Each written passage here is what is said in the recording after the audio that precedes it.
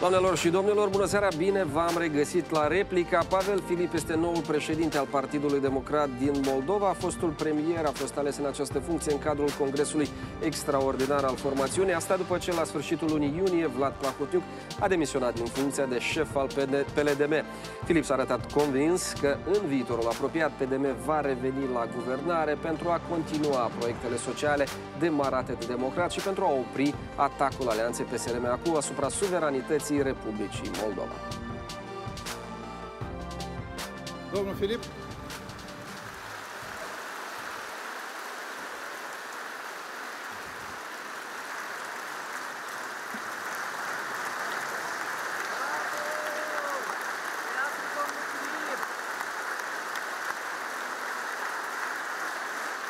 Eu nu m-am vrut să-l, să-l preîntâmpin pe domnul Filip.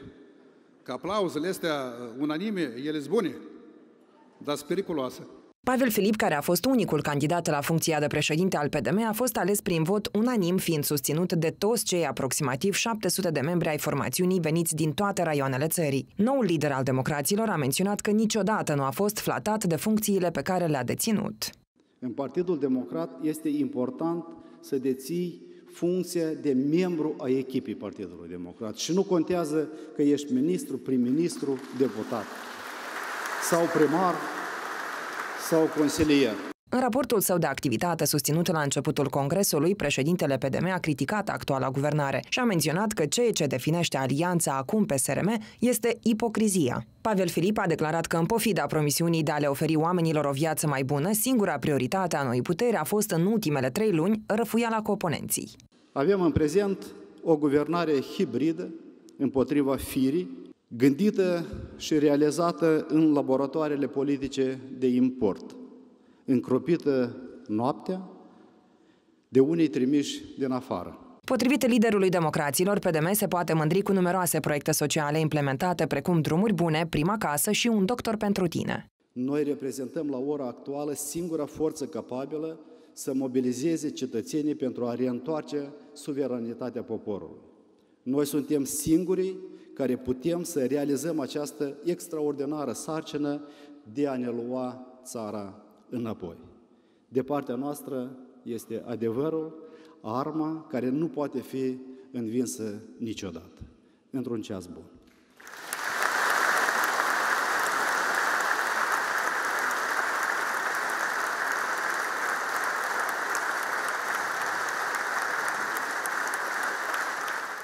Partidul Democrat este singura alternativă capabilă să livreze rezultate pentru țară și cetățenii săi. Trebuie să demonstrăm în fiecare zi acest lucru, să dăm dovadă, să dăm dovadă de acțiuni, idei și propuneri. La cel de-al nouălea congres extraordinar al PDM, care s-a desfășurat la Palatul Republicii, au participat și invitați de peste hotare. Aceștia au remarcat că Partidul Democrat este mereu alături de cetățeni. As I said before, I'm very impressed by your political program. You have the right ideas. You have very, very clever ideas of how to solve this, uh, your, your society's challenges before you.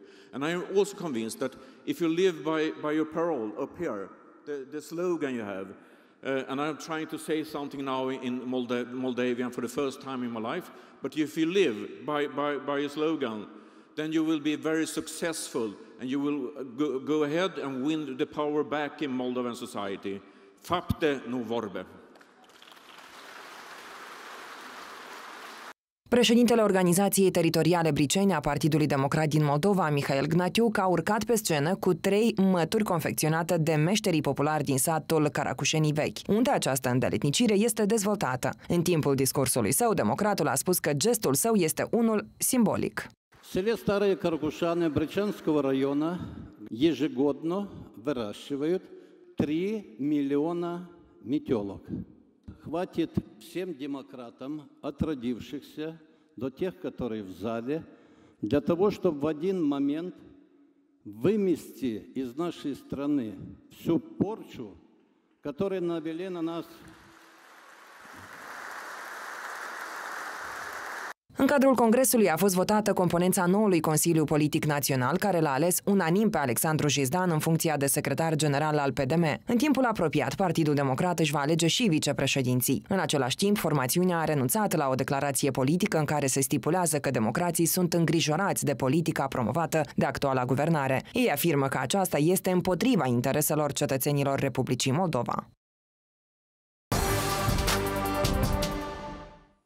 Invitatul emisiunii de astăzi, cu care discutăm despre prioritățile și provocările PDM, este președintele Partidului Democrat, Pavel Filip. Domnule Filip, bine ați revenit la replica, de data aceasta în altă calitate. Bună seara! Invitat de asemenea este și analistul politic Anatol Țăranu. Domnule Țăranu, bună seara! Dacă aveți replici sau întrebări, vă rog să nu ezitați să-i dați uh, domnului uh, Filip. De start vreau să, să vă întreb care este diferența dintre funcția pe care ați avut-o și cât de confortabil sunteți, vă simțiți în această funcție? Asta în condițiile în care ultimele două, trei luni ați fost liderul informal al uh, formațiunii și v-am văzut foarte des, practic, în fiecare zi, mergând în teritoriu. Probabil trebuie să, uh, să duci o funcție sau alta pentru a înțelege cu adevărat care este uh, greutatea acestei funcții. Și eu, înainte de a veni în guvern, credeam că a fi ministru nu este atât de complicat. Fiind ministru am înțeles de fapt care este responsabilitatea și povara acestei funcții. Nu mai vorbesc de funcția de prim-ministru. Exact așa gândeam și despre funcția de președinte de partid.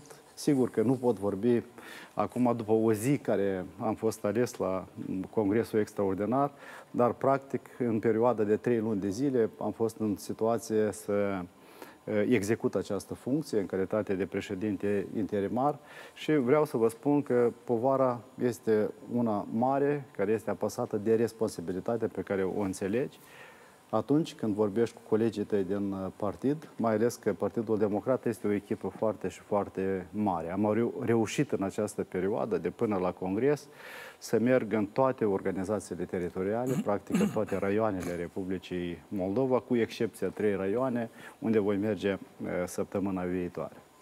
Dumneavoastră aveți un uh, precedent, fiindcă ați preluat guvernul practic cu o țară în prag de faliment. Acum veniți practic să preluați, sau practic ați preluat un partid care e aproape în prag de uh, faliment. V-ați trasat deja anumite priorități pentru formațiune?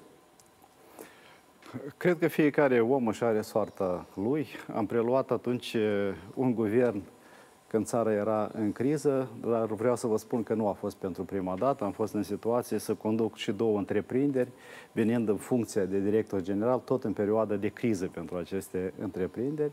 De aceea deja sunt obișnuit cu acest uh, lucru.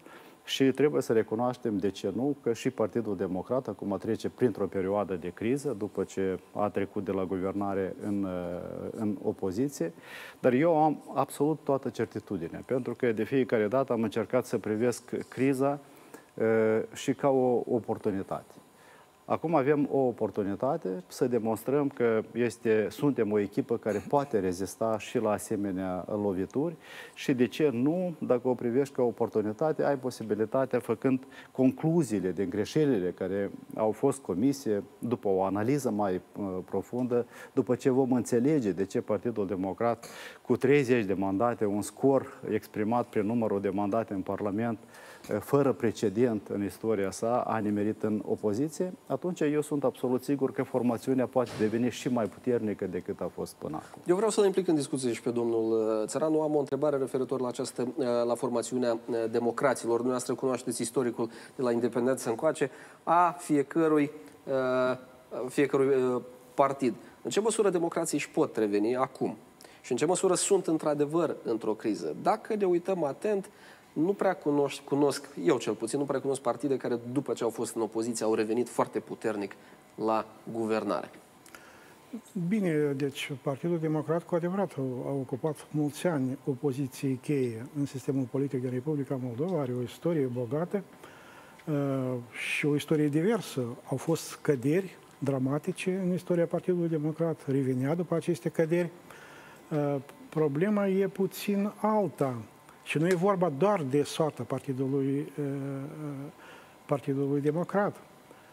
Așa s-a întâmplat că acest partid reprezintă în spectrul politic moldovenesc, social-democrația moldovenească, uh, social-democrația cu pondere în societate. Mai sunt partide social, anunțate social-democrate, dar ele practic nu au, nu au prestație și nu au audiență la electorat. Pentru Republica Moldova, un partid puternic social-democrat axat pe valorile europene, pe ceea ce se numește alegerea civilizațională europeană pentru Republica Moldova este extrem de important, având în vedere că în Republica Moldova stânga tradițional este foarte puternică. Un, un partid uh, de stângă, de centru-stânga, puternic, care adună adeziunea electoratului și o direcționează pe făgașul integrării europene, a valorilor europene, este extrem de important pentru Republica Moldova. Din păcate, Partidul Democrat acum se găsește într-o criză profundă. Apropo, vreau să vă spun că, din păcate, iarăși, sunt nevoit deseori să folosesc acest cuvânt în raport cu Partidul Democrat, esența lui social-democrată nu, mai degrabă exista la nivel formal. Partidul Democrat este membru a Internaționale Socialiste, este recunoscut în plan internațional, dar mai pu- puțin se demonstra în această calitate prin politicile pe care le promova. Acest lucru mai puțin se referă la politica promovată de guvernul Filip. Apropo, Pavel Filip este, a fost un prim-ministru care în mare măsură, poate cel mai, cel mai prim-ministru din toți democrații, care era axat pe problematica socială. Și acest lucru a adus o plusvaloare Partidului Democrat și, într-un fel, a consolidat această, uh, această imagine de Partid Social-Democrat. Dar până la un adevărat Partid Social-Democrat European în politica moldovenească, Partidul Democrat încă are mult de făcut. Din păcate, și trebuie să recunosc acest lucru, domnul președinte, nu vă supărați, dar congresul care a avut loc, el, din păcate, nu prea a marșat pe această idee. Mai mult decât atât, în permanență ați vorbit despre trecut. Cu adevărat, ați avut realizări în acest trecut, în vedere politicile sociale. Ați vorbit despre programe, dar, uh, repet încă o dată, din păcate, mai puțin v-ați axat pe viitor în sensul concret al acestui cuvânt. Ce, ce vreți să faceți? Atunci când ați spus că noi în timpul apropiat ne vom reîntoarce la guvernare, această afirmație, care este foarte curajoasă una și responsabilă, ea cumva a rămas uh, suspendată în aer. Este nevoie, este nevoie să veniți cu niște programe foarte concrete pe înțelesul oamenilor, ca această încercare de a vă reîntoarce cât mai rapid la guvernare să aibă suportul alegătorilor. Eu, eu am să preiau această idee și poate răspundeți, domnule Țăranu, care sunt planurile de viitor? Care sunt acțiunile imediat următoare? Eu îi dau de dreptate, domnule Țăranu. Noi, în general, în Republica Moldova, avem o problemă cu doctrinele partidelor uh, politice și din punctul meu de vedere. Și atunci când vorbeați de stânga, centru-stânga, haideți să recunoaștem că în Republica Moldova stânga sunt pro-rușii și dreapta sunt uh, uh, pro-europene. Și eu sper foarte, foarte mult în timp, într-adevăr, să, să ajungem la doctrinele adevărate care reprezintă mm, partidele conform denumirii sale sau familiei politice din care fac parte. Eh, este adevărat, noi am vorbit mai puțin despre viitor la acest congres, dar să nu uităm că a fost un congres extraordinar, ori congresele extraordinare au loc atunci când s-a întâmplat eh, ceva și ai nimerit într-o, într-o situație de criză. Exact lucrul ăsta s-a întâmplat acum cu Partidul Democrat. Președintele și-a depus eh, și-a prezentat demisia, a fost în situația să alegem alt președinte și chiar alt secretar general al partidului da și alt Consiliu Politic uh, Național. În același timp, nu aș fi de acord că nu am transmis niște mesaje, pentru că noi urmează, uh, revenind la guvernare, să continuăm programele sociale pe care le-am uh, pornit, pentru că trebuie să recunoaștem, a fost doar un început. Și, apropo, pentru a avea capacitatea să realizezi programe sociale, investiții publice, desigur că trebuie să ai și capacitatea financiară. Din acest punct de vedere, eu am făcut declarație, nu o singură dată fiind în funcție de prim-ministru, că noi am fost un guvern pro-business pentru a avea posibilitatea să ne realizăm programele noastre sociale. Doar din bugetul statului poți face investiții sociale și investiții publice. De aceea, eu cred că agenda de reforme uh, care a, a fost în fața noastră 70-80% au fost reformele pentru mediul de afaceri, astfel ne-a permis ca să aducem mai mulți bani în bugetul uh, statului, cum n-ar fi de paradoxal, dar printr-o relaxare a presiunii fiscale sau a presiunii controlelor asupra mediului uh, de afaceri. Și îmi doresc foarte mult, uh, acest lucru l-am spus, în viitor, Partidul Democrat Uh, să devină o construcție autentic uh, politică și, așa cum am declarat și ieri, de orientare, o, o formațiune de orientare europeană și socială. Dacă vorbim despre consolidarea echipei sau cât de uniți sunt democrații astăzi. În ce măsură vom mai vedea plecări, depuneri de mandate, fiindcă am văzut-o pe doamna Drăguțanu care a zis că nu este pregătită pentru politică astăzi, poate cândva, altă dată, doamna și-a depus mandatul. În ce măsură vor mai urma plecări din fracțiunea democraților și aici nu mă refer plecări în alte uh, fracțiuni, fiindcă se vehicula 7, 10, 15 democrați pleacă la socialiști, fac guvernarea și au rupt, uh, au rupt echipa. Uh, nu este corect uh, să vorbesc de ce a plecat doamna Drăguțanu, doar o să vă spun că uh, au existat probleme personale. Și eu am înțeles-o perfect când a făcut acest uh, pas. Nu avem uh, informații colegii nu ne-au spus că cineva mai intenționează să plece din fracțiunea Partidului eh, Democrat. Atât mai mult, eh, eu cred că, hai să spunem așa, perioada de criză a trecut și acum fracțiunea este una unită. Noi am reușit eh, să, să readucem acest echilibru în interiorul fracțiunii de ce eu am toată certitudinea că fracțiunea Partidului Democrat va rămâne e, unită până la urmă. Eu am să reformulez atunci întrebarea și am să vă întreb cât de consolidată este echipa și pregătită pentru a face față exercițiului electoral din data de 20 octombrie. Din nou se vehicula fug primarii în alte partide. Sunt unii traseiști care au fugit toată viața lor de la, din dreapta spre stânga, apoi spre centru și din nou uh, spre stânga. Și cât de pregătiți sunteți să faceți față unui asemenea exercițiu. Este un exercițiu foarte important. Este un, uh, nu știu să zicem, un, uh, un exercițiu care de, va demonstra capacitățile Partidului Democrat pentru parlamentare, fie ele anticipate, fie ele ordinare. Trebuie să dezamăgesc oponenții noștri politici, să le spun că echipa Partidului Democrat și în organizațiile teritoriale este o echipă unită.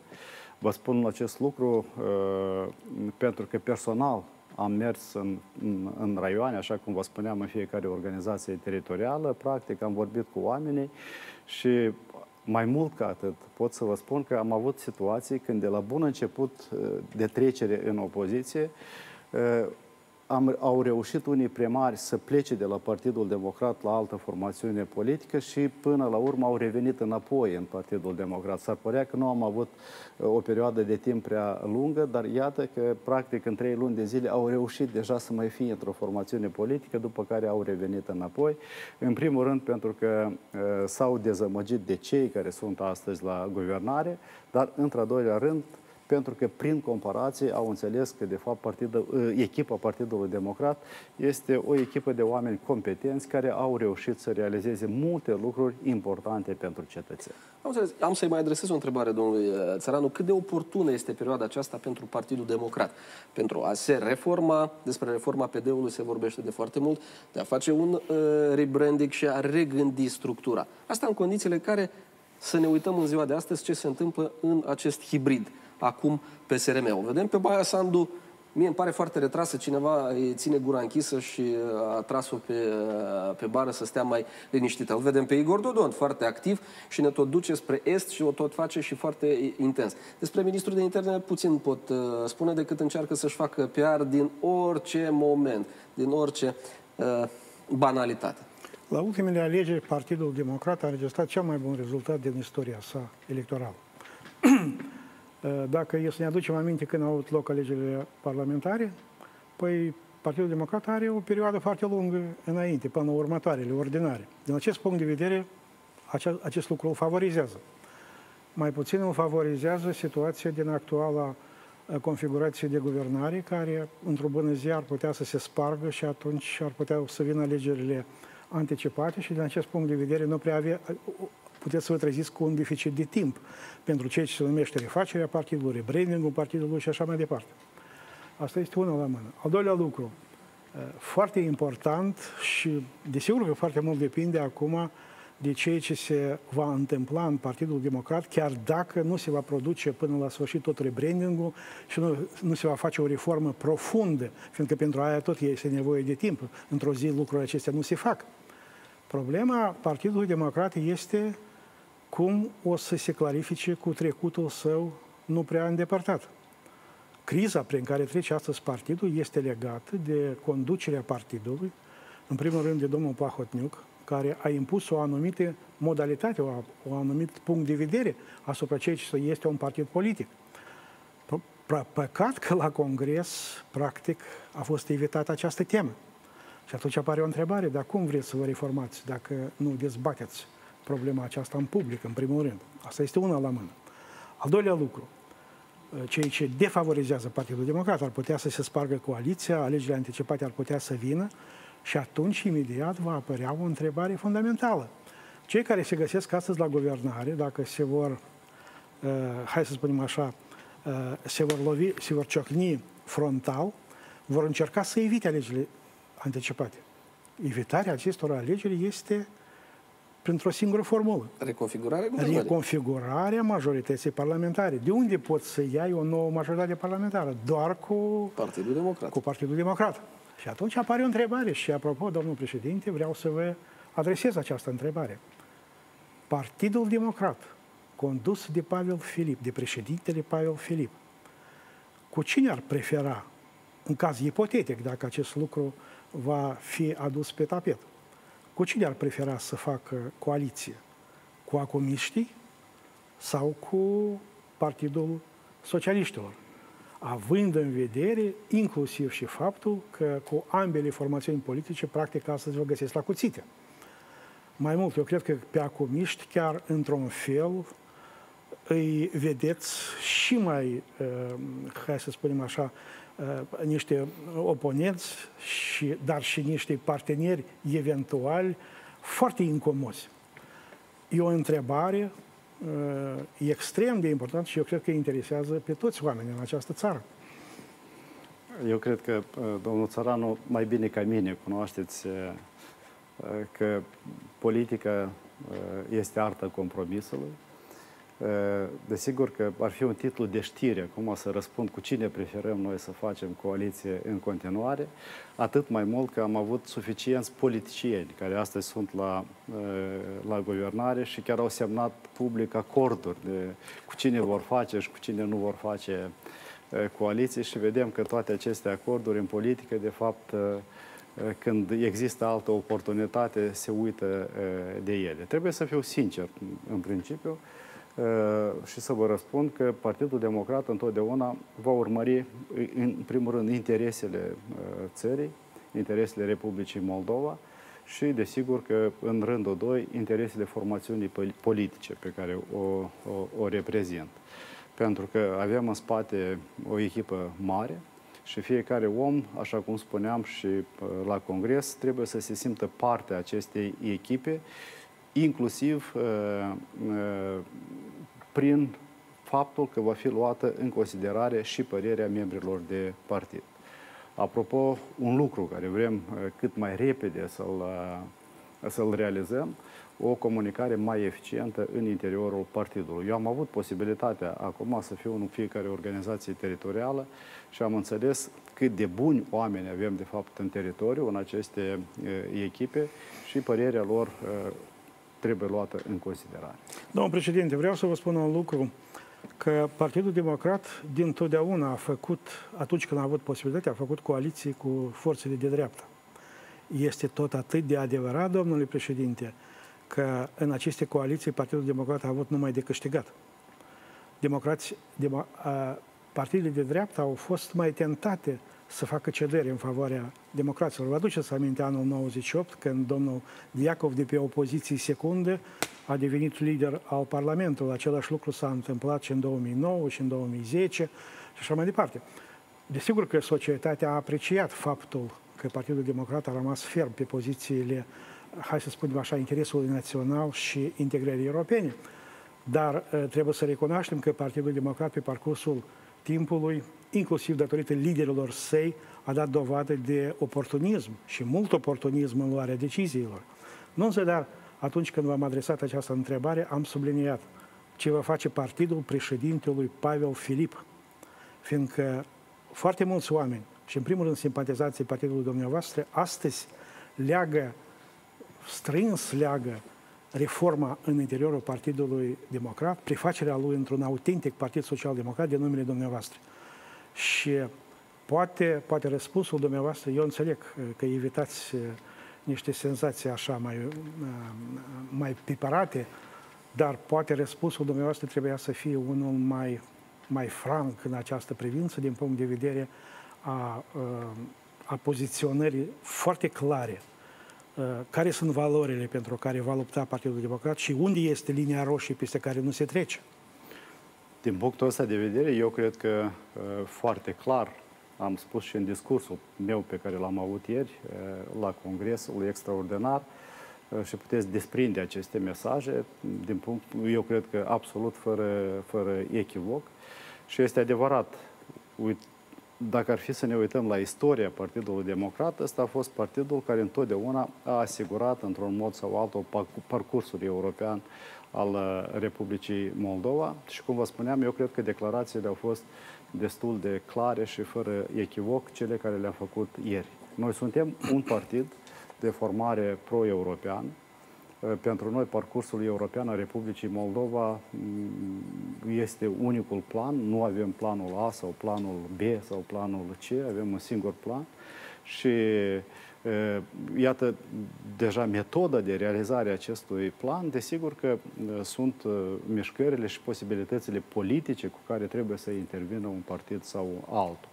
De asta, încă o dată, desigur că astăzi voi evita că, să spun ferm că vom face coaliție nici într-un caz cu ceea sau cu ceilalți și așa mai departe. Partidul Democrat, în continuare, va asigura parcursul european al Republicii Moldova. Am înțeles. Uh, scuze, te rog, abu, abu, abuzez. Scurt, da. Domn, domn președinte Filip, spuneți dar de ce Partidul Democrat nu a votat introducerea în Constituție a sintagmei limba română? Și dacă situația s-ar repeta astăzi, sub conducerea lui Pavel Filip. Ce ar face Partidul Democrat într-o situație ipotetică, dacă ar fi fost o asemenea posibilitate astăzi? Eu am fost în situație să răspund la această întrebare. Cu părere de rău, eu nu eram în Parlament și cred că a fost comisă o greșeală. Trebuia, trebuia folosită această oportunitate și votată limba română în Constituție. Astfel, astăzi am fi avut cu un element mai puțin de, uh, în mâinile politicienilor care tot încearcă să dezbine societatea cu aceste elemente sau în această uh, dimensiune. În același timp, uh, eu nu am vrut să intru, să intru astăzi prea mult în discuțiile despre reforma Partidului Nemijlocit, pentru că trebuie să luăm în considerație că cel mai important activ al Partidului Democrat astăzi este fracțiunea parlamentară. De aici am putea porni sau ne vom putea reveni ca formațiune politică puternică. Acum, fiecare, fiecare produs, hai să zicem, fracțiunea parlamentară, este produsul unui partid care a avut o bază, o bază oarecare. Este imposibil, când ai o clădire deja construită, să schimbi fundamentul pentru că clădirea se va, se va prăbuși. De aceea, eu vă asigur că noi, împreună cu echipa care mă, mă ajută, vom găsi metoda cea mai inteligentă de reformare a partidului. Și nu în zadar am spus acest lucru răspunzând la întrebarea despre limba română și de ce nu a fost votată atunci. Eu bănuiesc că nu toți deputații din fracțiunea parlamentară de atunci a Partidului Democrat uh, erau gata să facă acest, uh, acest lucru. Dar care este situația în, în fracțiune, în, în raport, mă scuze, Alexei, în raport cu această problemă? Uh, eu cred că avem marea majoritate în uh, fracțiune, dar nu exclud că mai sunt din cei care uh, au alte viziuni. Noi o să luăm o scurtă pauză publicitară, o să revenim la discuție. După pauză vreau să vedem în ce măsură aveți astăzi un candidat pentru bătălia din Chișinău și dacă Partidul Democrat va lupta pentru fotoliul de șef al capitalei, fiindcă vedem un ministru care deja se consideră ca și, ca și ales și este gata să, prin speculații, desigur, să rezolve absolut tot. Iarăși o să vorbim și despre care este marea problemă de astăzi a formațiunii care trebuie eliminată. Revenim în câteva clipe la discuție. Revenim imediat.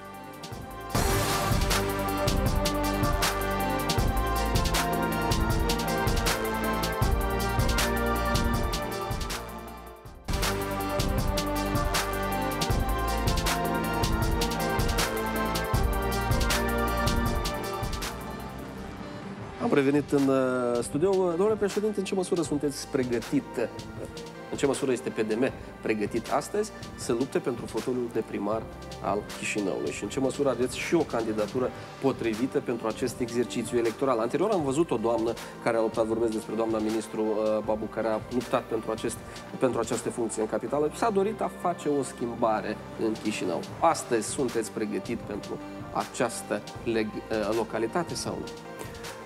Desigur că funcția de primar al Chișinăului, primar general al Chișinăului, este o funcție importantă și uh, noi dacă ne-am descurcat deja practic în teritoriu, în toate centrele raionale și localități cu, la, cu candidații la funcția de primar și consiliu, în Chișinău încă nu am ajuns la, la un numitor comun. Sunt discuții pe interior. Urmează de mâine să continuăm aceste discuții și cred că în câteva zile va fi luată o decizie. Nu pot anticipa să vă spun mai mult astăzi decât ceea ce v-am spus, pentru că cum vom lua o decizie, neapărat o vom face public. Eu vreau să revin la programul, inițiativele, prioritățile pe care le, le aveți dumneavoastră. În ce măsură veți putea să impuneți agenda pe care a avut-o PDM și aici vorbesc despre programul Fapte Bune pentru Moldova, drumuri bune, uh, pensii bune, uh, un doctor pentru fiecare. Asta în condițiile în care toate aceste programe au fost suspendate. A fost totul dat afară și un deputat uh, nou în Parlament ne spune că vom trăi mai bine la vară. Nu ne-a spus exact care este acea vară sau din ce an va fi această vară, dar la vară vom simți anumite schimbări. Vedeți că pentru a fi, în, a fi în situație sau în stare să culege roada toamna, această roadă trebuie sădită primăvară. Eu nu văd de unde în vara viitoare vom trăi mai, bune, dacă, mai, mai bine dacă acum nu se face nimic pentru acest uh, lucru. Eu mi-aduc aminte când noi eram învinuiți că, iată, în anul 2018 am venit cu programul Drumuri Bune, cu 600 de lei pentru pensionari și așa mai departe, cum că astea ar fi niște acțiuni preelectorale. Fals. Pentru a face aceste acțiuni ai nevoie de bani în buget, așa cum vă spuneam uh, mai înainte. În primii doi ani noi am fost preocupați de reforme pentru a aduce mai mulți bani în buget și desigur că au fost reforme orientate pentru mediul de afaceri, scăderea presiunii fiscale și uh, decriminalizarea businessului, reforma fiscului, reforma vămii, reforma regulatorii, micșorarea numărului fun- uh, instituțiilor funcții de control. Ăsta a fost rezultatul care ne-a dus în 3 ani de zile plus 15 miliarde de lei la buget. Apoi, deja am fost în stare uh, să, să, să facem aceste investiții sociale. Uh, acum, din potrivă, din câte am văzut, uh, au fost anulate, au fost uh, majorat TVA-ul pentru industria Horeca, au fost anulate etichetele de masă, sau mai bine zis impozitate etichetele de masă. Aceste lucruri sunt, au fost o viziune a noastră și a fost o, o mișcare strategică. Acum eu sunt absolut uh, convins că nu avem de unde trăi mai bine după acțiunile pe care le-a întreprins acest păi, Guvernarea se împrumută, domnule președinte.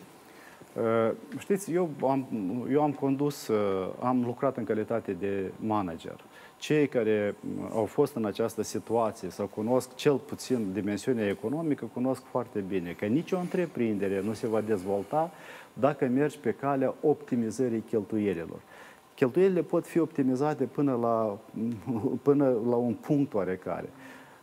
dezvoltarea întreprinderii vine atunci când tu dezvolți vânzările și ai venituri mai mari. De aceea, prin împrumuturi, Republica Moldova nu se va putea dezvolta. Prin tăierea uh, programelor uh, sau reformelor, oprirea reformelor care au fost, Republica Moldova nu se, poate, nu se va putea dezvolta. Noi trebuie să dezvoltăm veniturile în bugetul statului.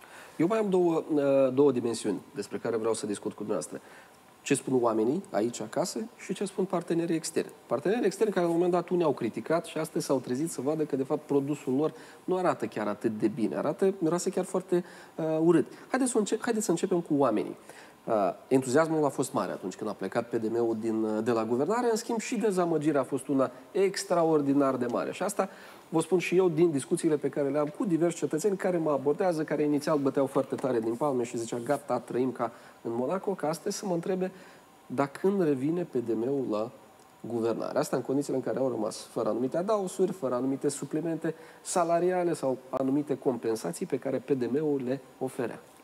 Eu aș scoate în evidență alt element. Bun. Și haideți să recunoaștem că, în principiu, această percepție care a fost creată în societate, în urma care a avut de suferit uh, Partidul Democrat, e că PD-ul este uh, rău, dar iată, cei noi care până acum au fost în opoziție și acum au venit la guvernare, sunt oameni integri, onești, care au declarat că vor face concursuri transparente, care vor pune oameni în funcție în bază de meritocrație. Eu cred mai mult că de acest lucru sunt dezamăgiți oamenii, pentru că au declarat una, și au făcut alta. Nu în zadar am vorbit ieri la Congres despre ipocrizie, pentru că este adevărat, este ipocrizie când declari că vei depolitiza instituțiile statului, dar în realitate tu le politizezi. Aceasta s-a întâmplat cu CECul, asta s-a întâmplat cu Curtea Constituțională în final sau când spui că vei pune oameni în funcții în bază de meritocrație, dar în realitate vedem că pui oameni neprofesioniști, cel mai grav uh, ce este, dar și membrii de, de, de partid. Cum ăsta este, ăsta este elementul, de punctul meu de vedere, care mi-aș dori foarte mult să fie înțeles uh, de oameni. Pentru că Poate nu a fost sfânt Partidul Democrat, dar cei care s-au declarat sfinți sunt mai răi decât cei care au fost până la ei. Oamenii de rând, ce vă spun? Cetățeanul de rând, care merge astăzi pe un drum bun sau care nu mai merge pe un drum bun din cauza actualei guvernări care a tăiat bugetul Nemulțămire, nemulțămire mare, pentru că, în primul rând, s-a procedat, din punctul meu de vedere, absolut alogic, pentru că a existat acest program Drumuri Bune a existat, uh, uh, au existat proiectele deja elaborate, deci s-a procedat, nici nu știu cum să mă exprim uh, mai bine, nu s-a atras atenție la aceste proiecte, dar s-a uitat la suma de bani. Și atunci s-a trunchiat acest pro, pro, program până la 600 de milioane sau mai jos. Și ce se întâmplă? Dacă într-un sat era proiectat un kilometru și 200 de, de, de metri de drum, i-a oferit bani primarului pentru 100 de metri de drum. Deci, din punctul meu de vedere, dacă nu vreți să continuați acest program sau dacă ați micșorat această sumă, atunci construiți drumuri în 10 sau 20 de sate, dar nu îi împrăștiesc pe toți în toată țara pentru 50 de metri sau 100 de metri de drum. Dar asta vorbește despre calitățile și, eu știu, pregătirea pe care o are acest guvern. Mesajele partenerilor externi, fiindcă le-am văzut unii chiar aici, local, nu erau mulțumiți de maniera în care PDM guverna. Alții criticau, până la urmă foarte mulți au susținut actuala guvernare, însă ultima perioadă sunt cam rezervați la ceea ce văd. Nimeni nu se aștepta ca ministrul Federației, ministrul apărării Federației Rusă să mărșăluiască pe bulevardul Ștefan cel Mare deschis și nimeni nu se aștepta la o astfel de întorsătură. Ce vă spun partenerii?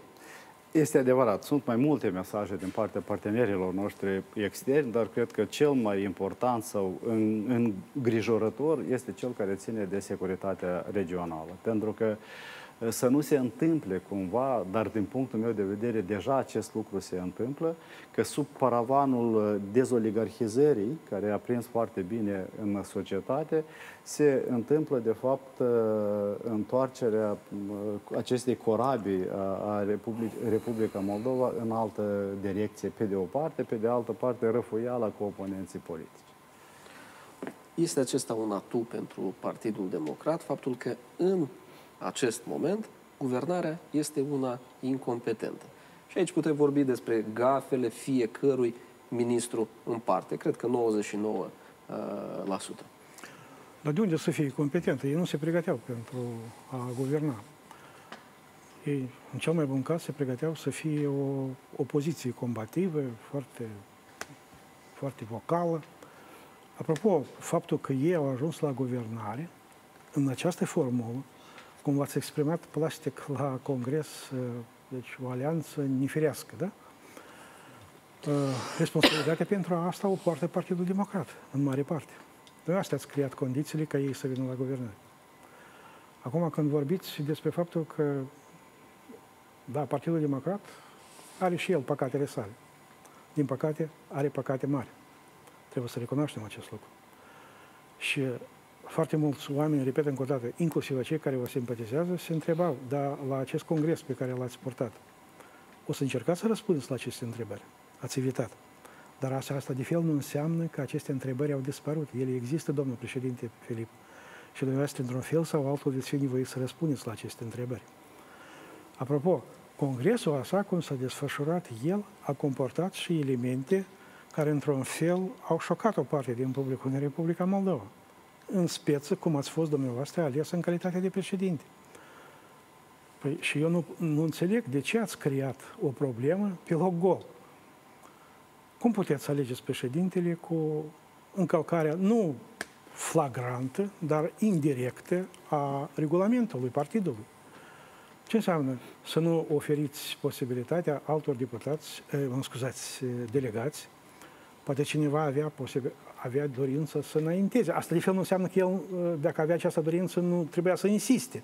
Dar mai știi, dacă ești într-o asemenea fel organizată Uh, uh, lucrarea uh, Congresului, atunci apar și niște întrebări.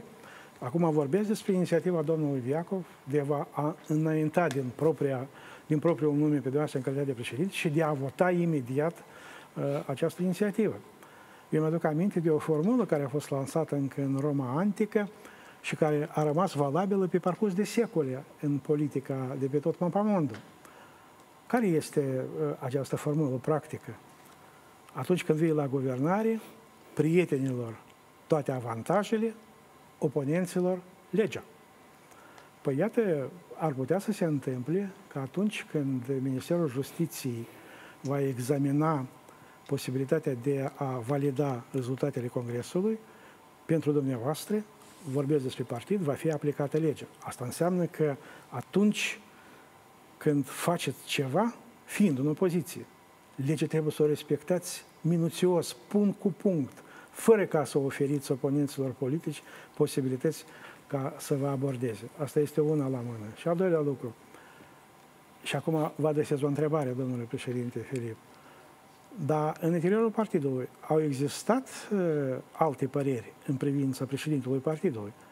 Au fost uh, persoane care au fost examinate pentru acest post sau uh, alegerea dumneavoastră a fost atât de unanimă cum și la Congres. Și n-au existat, cel puțin în presă s-au vehiculat niște nume și s-au vehiculat inclusiv chiar și niște contradicții care bântuie partidul din interior.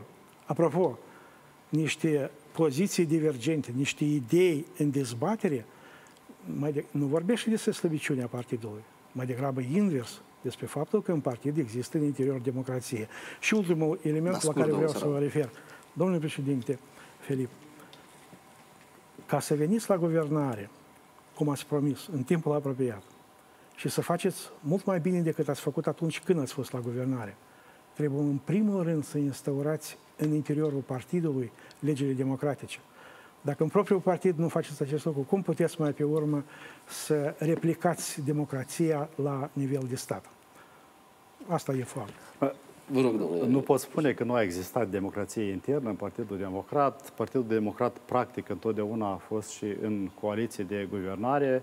Eu vreau să vă spun că democrația internă a fost poate mai mare decât este în interiorul celor care se află astăzi la guvernare, pentru că eu am auzit declarațiile unui deputat că el a văzut la televizor atunci când a fost numit un ministru sau altul, am auzit declarațiile lor când au spus că au votat în mare majoritate majoritate absolută, să nu meargă la întâlnirea cu un uh, emisar din afara țării, dar până la urmă aceștia au mers. Eu vreau să vă spun că la noi erau foarte multe dezbateri și eu cred că a existat o oarecare democrație în interiorul uh, uh partidului. Totuși, cuvântul cheie este oricare. Eu cred că este uh, eu am spus odată, eu îmi doresc o formațiune politică, o construcție autentică politică. În Republica Moldova, eu cred că pe tot eșchierul am avut aceste probleme, am avut aceste piramide întoarse cu talpele în sus, îmi doresc o piramidă cu talpele în jos, astfel încât să fie o construcție puternică, pentru că dacă este inversată, atunci se clatină uh, foarte repede. Cât ține de uh, respectarea regulamentului uh, la alegerea președintelui partidului. Este adevărat, domnul Diacov a improvizat puțin ieri la, uh, la congres, dar eu nu cred că este ceva foarte grav, pentru că fiecare a avut posibilitatea să-și exprime uh, votul, să-și, să-și spună părerea proprie.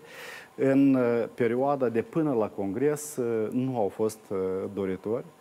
Ba de împotrivă, noi am mai discutat și eu mi-am dorit să fie mai mult, să vină cu viziunile și programele SOR, cu, sele.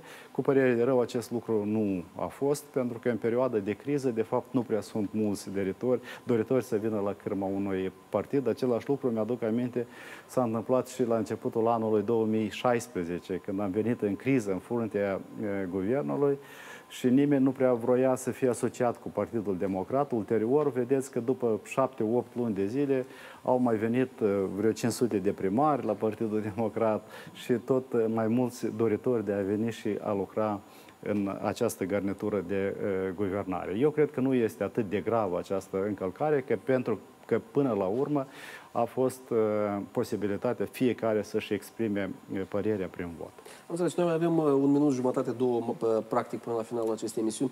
Care ar fi mesajul președintelui PDM, Pavel Filip, pentru membrii și pentru adepți și care este mesajul cetățeanului Pavel Filip pentru omul de rând, care încă mai crede că Republica Moldova nu este un stat eșuat, pa din potrivă, este un stat care poate merge sau poate lua calea Occidentului. În primul rând, noi tot am vorbit despre greșeli. Eu cred că noi trebuie să venim cu răspunsul la o întrebare cea mai importantă, cum de Partidul Democrat cu 30 de mandate a ajuns în uh, opoziție? Și din punctul meu de vedere mi-am exprimat această părere și în fața colegilor că PD-ul, da, a avut un scor bun electoral exprimat prin numărul de mandate, dar trebuie să vedem care a fost scorul politic pentru că nu întotdeauna aveam cele mai bune reacții din uh, societate. Și, în primul rând, trebuie să rezolvăm această problemă, cu certitudine ea va fi rezolvată. Doi, eu uh, sunt încrezător uh, doar dintr-un singur motiv, pentru că m-am văzut, practic, cu toate echipele de partid din uh, teritoriu, oameni de o calitate deosebită, oameni cu realizări frumoase în spate și am toată certitudinea că PD-ul va avea un scor onorabil acum în alegerile uh, locale. După alegerile locale, desigur că aceasta va fi un fundament pentru Partidul Democrat și ne va oferi posibilitatea să revenim ca o forță politică puternică care va avea ulterior posibilitatea să-și implementeze programele sale. Eu vă mulțumesc mult pentru răspunsuri și discuție. Cu siguranță vom mai reveni și până la data de 20 și după data de 20 eh, octombrie. Domnule Săranu, vă mulțumesc eh, mult eh, și dumneavoastră, doamnelor și domnilor. Rămâneți în continuare cu Prime TV.